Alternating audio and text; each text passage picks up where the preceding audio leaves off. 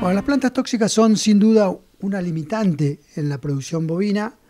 Eh, en nuestra zona no existen grandes cantidades o diferentes eh, tipos de plantas tóxicas, pero es suficiente con las que hay para que eh, se produzcan pérdidas importantes de, ganado bovino. las plantas tóxicas en general el, bovino las reconoce y no las consume. Si lo dejamos este, que coma lo que quiera pero con el problema, no es problema, pero sí para el ganadero, el problema de la intensificación en la producción debido a la menor superficie dedicada a la ganadería, hace que muchas veces el hombre obligue al animal a consumir plantas que eh, son tóxicas para, por su consumo y que habitualmente el animal no las come. Obligado, la vaca come cualquier cosa, y entre ellos las plantas, las plantas tóxicas. Existen plantas tóxicas que afectan al hígado, existen plantas tóxicas que afectan al cerebro, otras que, afectan a la sangre. Si, si uno se pone a reconocer, cada órgano tiene una planta sobre la cual una planta tóxica actúa. Eh, el reconocimiento de la toxicidad de las plantas tóxicas es eh, algo difícil para el profesional de actividad privada. ¿Por qué? Porque tenemos una formación precisamente veterinaria, este, lejos de la agronómica, que no retenemos la imagen de una planta tóxica. Es decir, por eso es que cuando uno analiza la información del servicio de diagnóstico del INTA Balcarce, ve que la mayoría de los, de los diagnósticos de los que, de los en los cuales el veterinario pide la asistencia nuestra terminan siendo precisamente enfermedades tóxicas. En nuestra zona, las más comunes y tal vez la que más muertes produce es llamada yuyo sapo o sunchillo.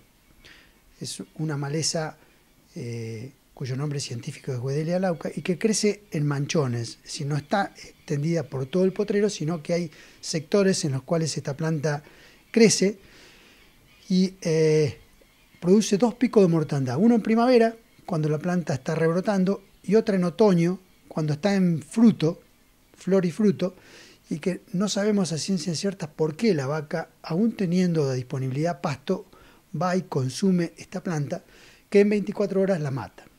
El curso es muy rápido, eh, produce una lesión hepática muy característica para el veterinario, que le permite fácilmente reconocer que ha sido el sunchillo la causa de muerte. Eh, la característica de estas plantas tóxicas, sobre todo las que actúan sobre el hígado, es que producen una cantidad muy importante de muerte en un corto periodo de tiempo. el animal la consume, eh, por sus hábitos alimenticios generalmente son muchos los animales que consumen al mismo tiempo la planta tóxica y por lo tanto mueren al mismo tiempo. Si tenemos registro de más de 100 animales muertos en, 24 o 48 horas, y que eso para el que está eh, en diagnóstico, como en el caso nuestro, nos facilita orientarnos este, sobre la etiología de esa mortandad.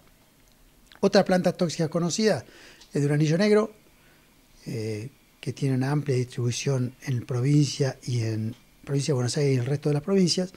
Una tal vez menos conocida es el abrojo grande. Esta eh, tiene como característica matar cuando recién emerge la planta, cuando, tiene, eh, cuando está en estado de cotiledón, que son dos hojitas. Ahí es donde comiendo una poca cantidad produce la muerte del animal. Este, este abrojo grande, eh, ¿por qué se produce la muerte? Porque generalmente nace antes que el campo natural, en invierno. Pasa el invierno, el bovino está muy ávido de material verde y selectivamente come estas dos hojitas que emergen del, abrojo y resulta la muerte en 24 o 48 horas.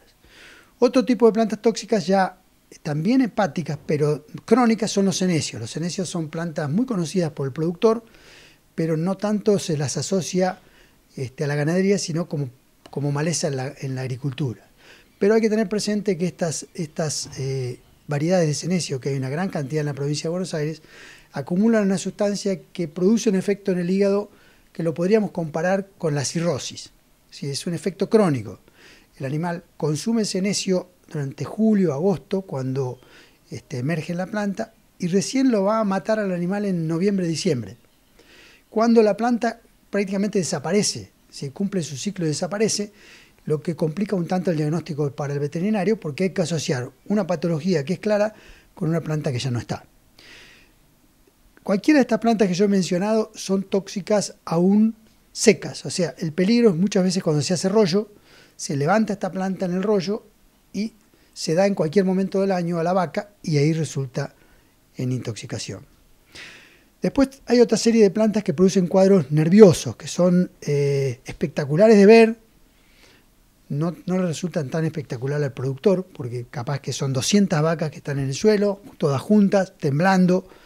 Este, por suerte, la mayoría de las plantas que producen este tipo de sinología no matan, salvo que el animal caiga en un arroyo, en una laguna y se muera por un accidente, ¿no es cierto? Pero en general el cuadro es espectacular de ver, pero afortunadamente eh, la incidencia, si los animales afectados son muchos, los que mueren son muy poquitos, salvo una especie que es el falari, Falaris angusta se llama, que es un falaris que crece en el campo natural, de amplia distribución en prácticamente toda la provincia, que esos tiemblan y mueren.